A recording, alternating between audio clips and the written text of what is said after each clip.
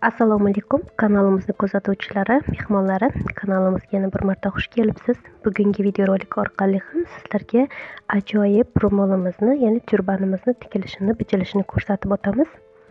Turbanimiz uchun mana bu matodan foydalandim. Judayam yaxshi cho'ziladi ozgina blistit qiladi va tikmoqchi bo'lgan turbanimizni fasoni mana bu fasonda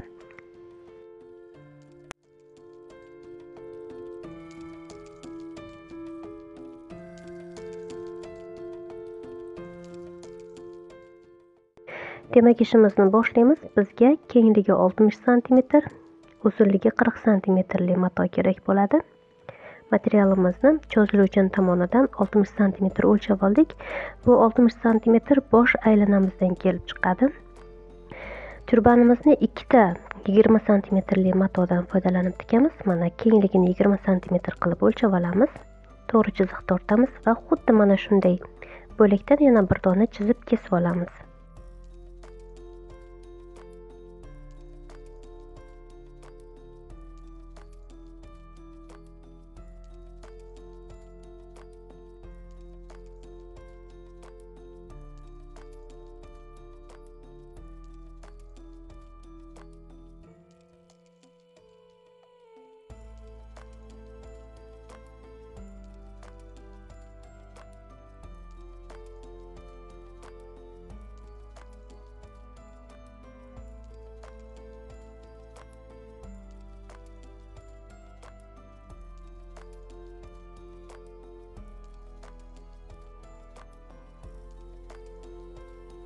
Mana yigirma santimetrlik bo'laklarimizni kesib oldik. Endi mana shu bo'lagimizni bir tomonini ehtiyot bo'lib tikib chiqishimiz kerak.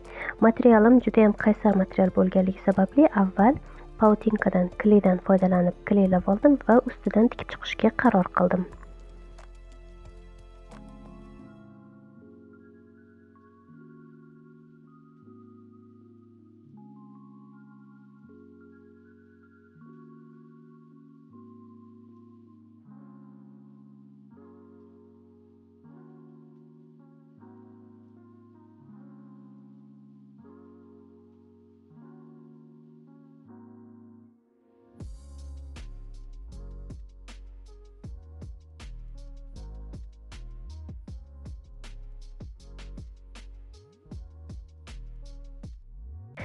Endi kleylangan materialimizni chekkasidan birinchi bo'lagimizni yarmigacha tikamiz va ikkinchi bo'lagimizni yarmidan boshlab oxirigacha tikamiz. Diqqat bilan e'tibor bering.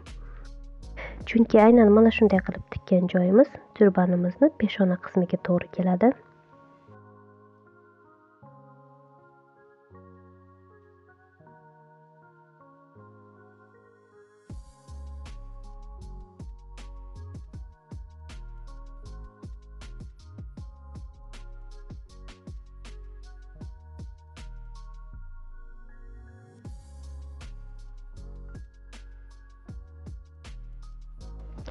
Tikilgan matoyimizni olib ikkiga buklaymiz va o'rtasini belgilaymiz.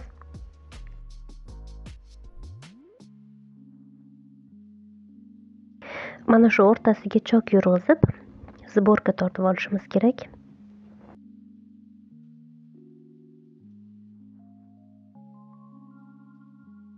Ikkinchi bo'lagimizni ham xuddi shunday qilib o'rtasini belgilaymiz va chiziq tortamiz.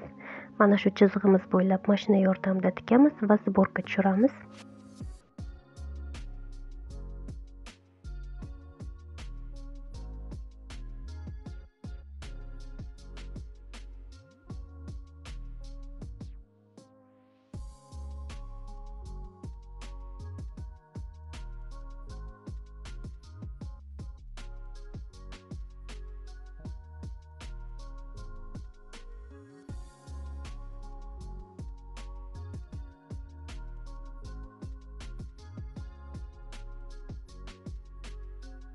Mana sborkalarimizni tushirib tayyorlab oldik.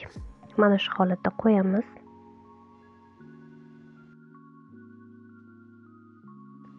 Mana shu joyda e'tibor bering. Avvaldan yarmigacha tikib olgan choklarimiz bir biriga to'g'ri kelishi kerak ya'ni peshona qismiga tushadigan qilib mana shunday qilib qo'yishimiz kerak.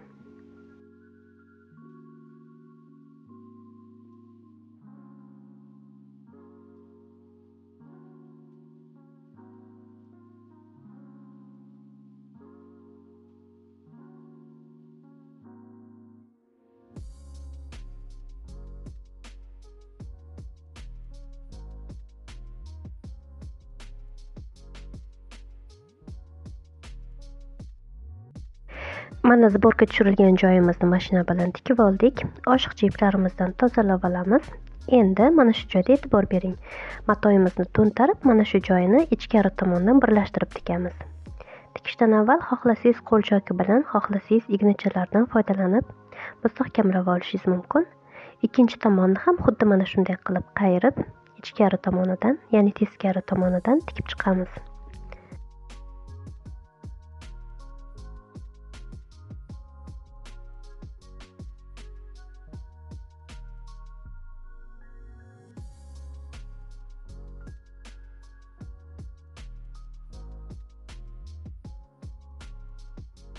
Mana tikilgandan keyingi holatini ko'rishingiz mumkin. Judayam chiroyli chiqdi. Mana shu joyimiz bosh aylanamizga to'g'ri keladi.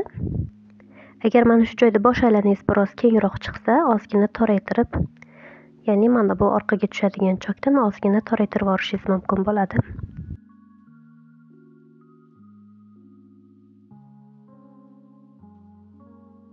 Endi turbanimizni mana bu joyini mashina bilan tikib olamiz.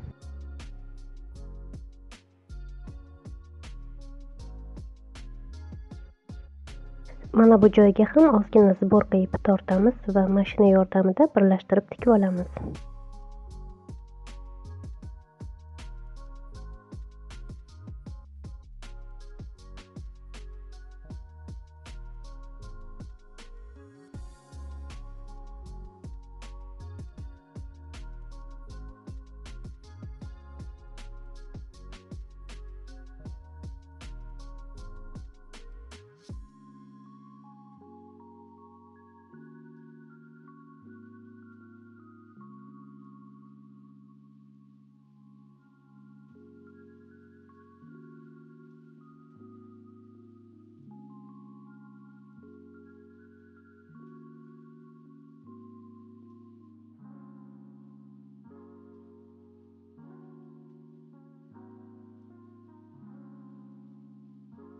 Mana shu joyda e'tibor bering turbanimizni mana bu joyini burchagini ozgina aylana shakliga keltirib tikib o'tamiz.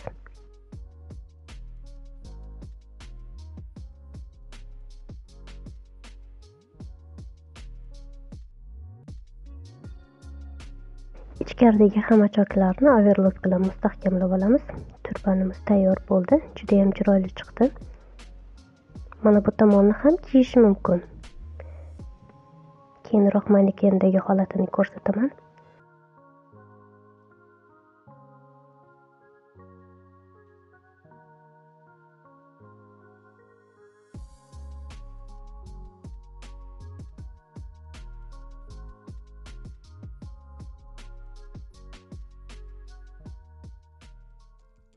Mana qizlar turbanimizning manekendagi holatini ko'rishingiz mumkin. Judayam chiroyli chiqdi. Bayramona to'yona. Qizlarimiz uchun kelinlarimiz uchun judayam qulay bo'lgan judayam chiroyli bo'lgan turban fasonlaridan kelasi videoroliklarda sizlar bilan ko'rishgungacha xayrlashaman fikrlaringizni kommentariyda yozib qoldiring layklaringizni bosishni unutmang.